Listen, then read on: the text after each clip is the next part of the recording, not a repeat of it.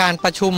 คณะรัฐมนตรีวันนี้นะครับมีหลายประเด็นที่ต้องติดตามครับรวมถึงในเรื่องของการแก้ปัญหาราคายางพาราตกต่ำรวมทั้งประเด็นที่นายกรัฐมนตรีจะมีการกำชับในที่ประชุมด้วย ติดตามได้จากทีมโฆษกประจำสำนักนายกรัฐมนตรีครับ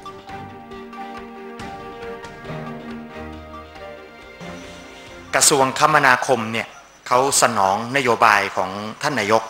ในเรื่องการจัดทำเส้นทางจักรยานของหน่วยในสังกัดของกระทรวงคมนาคม ทั่วประเทศ ทั้งส่วนกลางและก็ส่วนภูมิภาค กระทรวงคมนาคมกับหน่วยงานที่เกี่ยวข้องก็เลยคิดว่าจะต้องจัดทำมาตรฐานการออกแบบ และการก่อสร้างเส้นทางจักรยาน ให้เป็นรูปแบบมาตรฐานเดียวกันทั่วทั้งประเทศ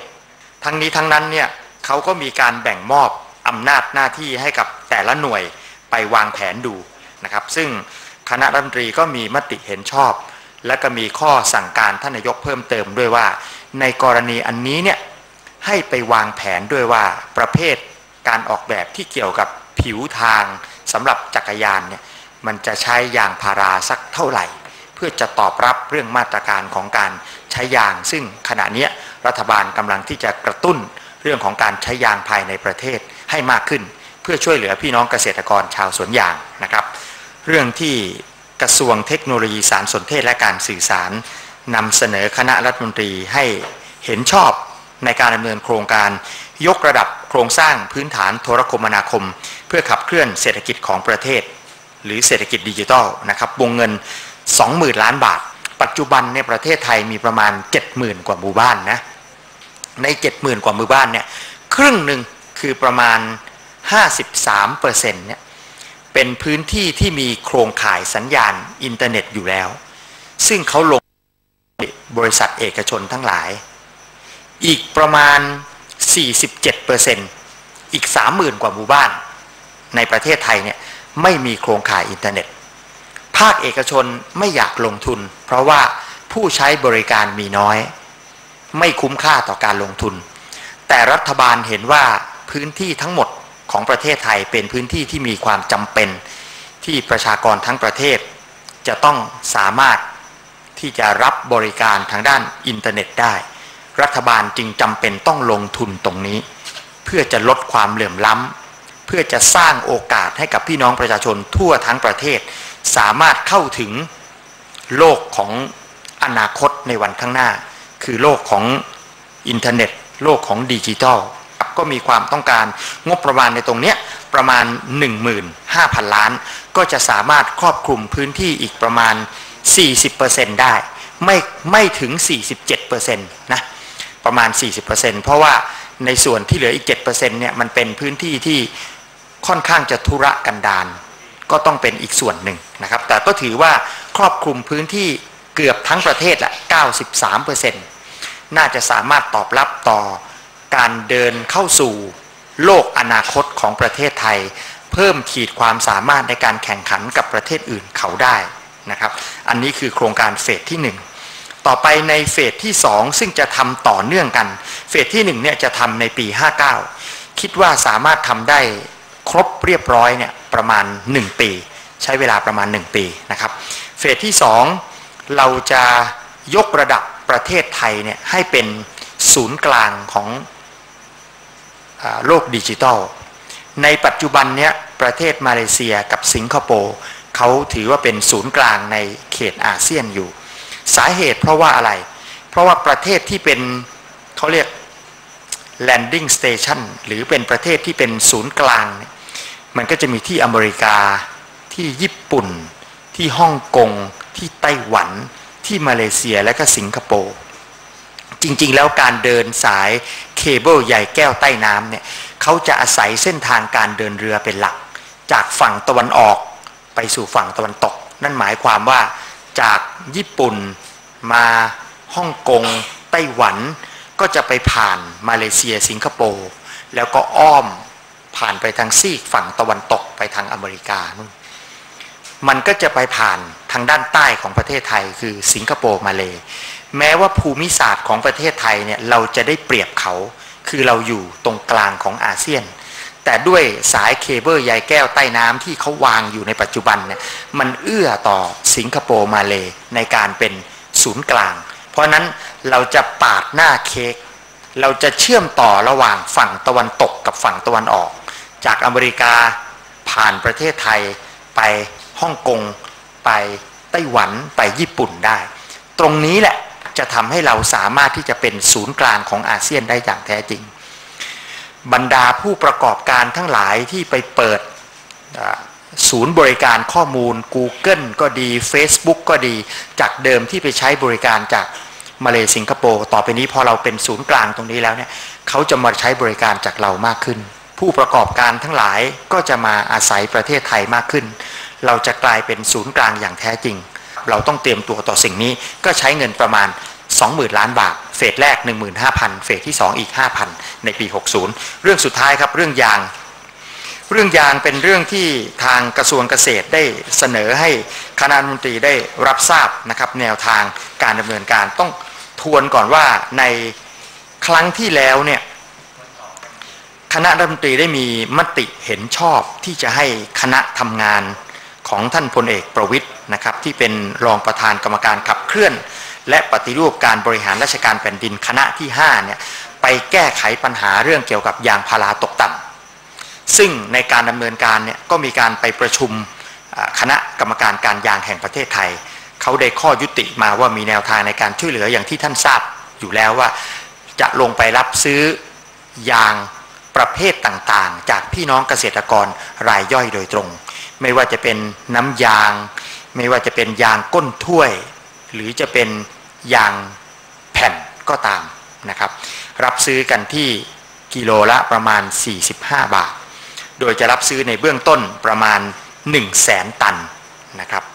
ส่วนราคาที่ตกลงกันในเบื้องต้น 45 บาทเนี่ยอาจจะมีราคาสูงขึ้น แต่ก็ต้องไม่เกิน 60 บาท อันนี้คือสิ่งที่คณะกรรมการการยางเขาได้ข้อยุติ แล้วก็นำมาเสนอให้คณะมนตรีได้รับทราบว่าหลักการในการแก้ปัญหาเขาเป็นอย่างนี้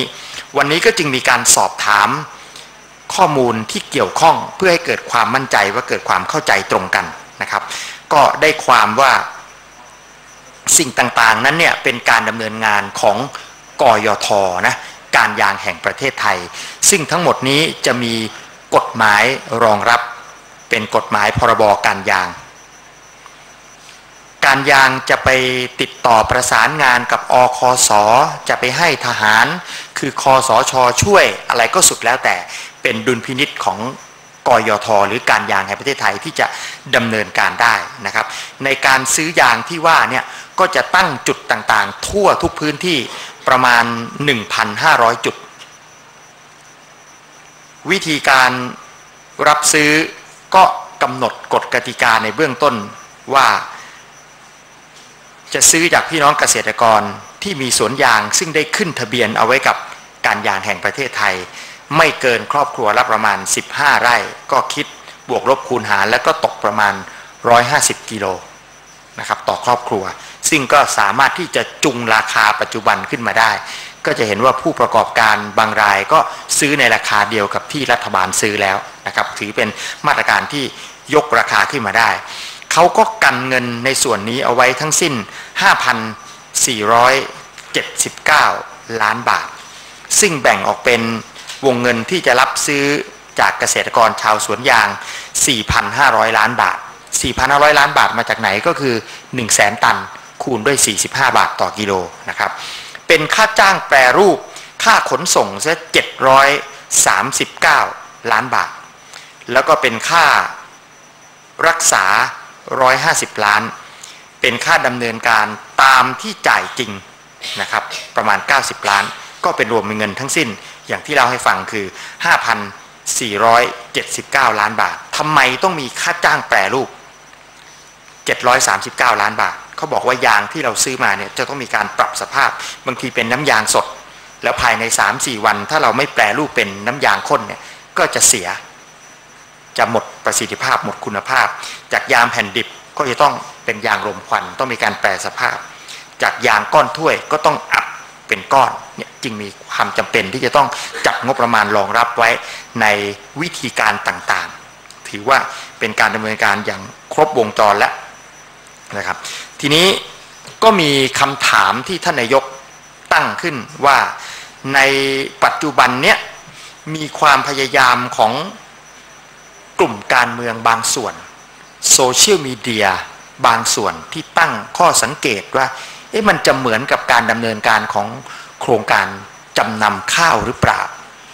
พูดเลยเถิดไปถึงเรื่องว่าเมื่อโครงการจำนำข้าว มีการรับว่าจะต้องมีองค์คณะที่ต้องเข้าสู่กระบวนการการฟ้องร้องดำเนินคดี ในคณะกรรมการข้าว อย่างเนี้ยคอรมอเห็นชอบในหลักการเรื่องยางเนี่ย จะต้องผิดด้วยไหม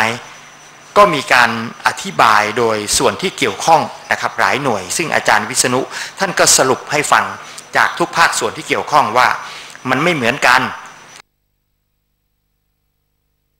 อีกเรื่องหนึ่งยังคงเป็นเรื่องที่เกี่ยวข้องกับต่างประเทศนะครับ เป็นเรื่องอที่เรียกว่าแผนปฏิบัติการแม่น้ำโขงปลอดภัย 6 ประเทศ ระยะเวลา 3 ปี แผนนี้จะครอบคลุมเวลาห่วงเวลาปี 2559 ถึงปี 2561 นะครับ ตรงนี้เนี่ยต้องเรียนว่าเป็นความร่วมมืออที่เกี่ยวข้องกับเรื่องของการดูแลเรื่องสถานการณ์ยาเสพติด การต่อต้านยาเสพติดนะครับ โดยมีปปสเนี่ย เป็นหน่วยรับผิดชอบหลักนะครับเพื่อที่จะให้ความร่วมมือทางด้านการปราบปรามยาเสพติดของประเทศในภูมิภาค แล้วก็รวมถึงประเทศที่เกี่ยวข้องออยู่ 4 ประเทศเนี่ยนะครับ หกประเทศนะครับเป็นประเทศที่ที่มีความสำเร็จในเรื่องของการปราบปรามยาเสพติด สาระสำคัญที่อยากจะเรียนให้ทราบนะครับว่าแผนปฏิบัติการดังกล่าวเนี่ยก็จะมีการครอบคลุมถึงมาตรการและก็แนวทางการปฏิบัติการที่สำคัญ ในเรื่องของการต่อสู้กับยาเสพติดนะครับเรื่องแรกก็จะเป็นเรื่องของการสกัดสารตั้งต้น และเคมีพันธุ์ที่ใช้ในการผลิตยาเสพติดนะครับ แล้วก็เพื่อมิให้สารเหล่านี้เข้าไปสู่แหล่งผลิตยาเสพติดนะครับ ประการที่ 2 ก็เป็นเรื่องของการจำกัดพื้นที่บริเวณชายแดนระหว่างประเทศนะครับ ซึ่งมีความสำคัญโดยเฉพาะอย่างยิ่งในพื้นที่ชายแดนบางประเทศไม่ว่าจะเป็นชายแดนอินเดียติดกับเมียนมาหรือว่าจีนติดกับเมียนมาหรือว่าไทยกับลาว ซึ่งพื้นที่เหล่านี้ก็ล้วนแล้วแต่มีสถิติของ ความเคลื่อนไหวที่เกี่ยวข้องกับยาเสพติดที่ค่อนข้างสูงนะครับ อีกเรื่องหนึ่งก็เป็นเรื่องของการจำกัดเส้นทางการลักลอบการลำเลียงยาเสพติดของแต่ละประเทศนะครับ อีกเรื่องหนึ่งก็เป็นเรื่องของการจัดตั้งจุดตรวจยาเสพติดบริเวณสะพานมิตรภาพ ลาวและเมียนมานะครับแล้วก็บริเวณพื้นที่ตรงกันข้ามท่าเรือศพหลวย เพื่อสกัดกั้นยาเสพติดไม่ให้ออกไปจากบริเวณนั้นนะครับ อีกเรื่องหนึ่งที่สำคัญไม่แพ้กันก็คือเป็นเรื่องของสกัดเรือที่เกี่ยวข้องกับการลักลอบนำยาเสพติด ต้องเรียนว่าความสำเร็จของ 6 ประเทศเนี่ยได้รับการยอมรับจากองค์กร UNODC นะครับซึ่งเป็นกององค์กรของสหประชาชาติที่ดูแลในเรื่องของการปราบปรามเรื่องยาเสพติดในระดับในในภาพกว้างคือในระดับโลก ในระดับนานาชาติเนี่ยได้อ่อ ชื่นชม แล้วก็เห็นถึงความสำเร็จของการที่ 6 ประเทศมีความร่วมมือในการสกัดกั้นในการปราบปรามยาเสพติด ก็จะนำเอารูปแบบในการทำงานที่เกี่ยวข้องกับการปราบปรามยาเสพติดของทั้ง 6 ประเทศเนี่ยนะครับไปใช้แล้วก็ไปแนะนำในเวทีสหประชาชาติ ซึ่งก็ถือว่าเป็นความสำเร็จอีกเรื่องหนึ่งของประเทศไทย ซึ่งกล่าวได้ว่ามีบทบาทนำในการปราบปรามยาเสพติดนะครับ อันนี้ก็เป็นอีกบทบาทหนึ่งที่ประเทศไทยได้รับการยอมรับนะครับ เรื่องแรกที่ท่านนายกได้สั่งการในการประชุมคณะรัฐมนตรีเมื่อเช้านี้นะครับ ก็เป็นเรื่องเกี่ยวกับการเกี่ยวกับการที่กระทรวงต่างๆ หน่วยงานต่างๆ จะมีโครงการ หรือจะขออนุมัติหลักการในเรื่องต่างๆเนี่ยในการขออนุมัติขึ้นมาเนี่ยท่านนายกรัฐมนตรีได้สั่งว่าจะต้องเน้นถึงนโยบายของนโยบายนโยบายของรัฐบาลที่มีอยู่นะครับ ต้องต้องกำหนดไปเลยว่าหลักการหรือโครงการที่จะจัดขึ้นมาใหม่นั้นนะสอดคล้องกับนโยบายอันไหนของ ยุทธศาสตร์ชาติ แล้วก็ต้องเน้นในการสร้างความเข้มแข็งในประเทศให้ได้นะครับ แล้วก็อีกอีกอย่างหนึงก็คือต้องกำหนดห่วงระยะเวลาของโครงการต่างๆนะครับ แล้วก็พยายามใช้ของในประเทศก็คือทำทุกอย่างตามนโยบายของรัฐบาล แล้วก็ต้องชี้แจงมาในในการขออนุมัติขึ้นมานะครับแล้วก็นอกจากนั้นนะคะเรื่องต่อไปเป็นเรื่องที่ท่านนายกให้ความห่วงใย ก็คือเป็นเรื่องที่ประเทศไทยของเรากำลังก้าวเข้าสู่สถานการณ์ผู้สูงอายุค่ะ โดยที่ผู้สูงอายุเนี่ยที่กำหนดไว้ก็คือผู้ที่มีอายุตั้งแต่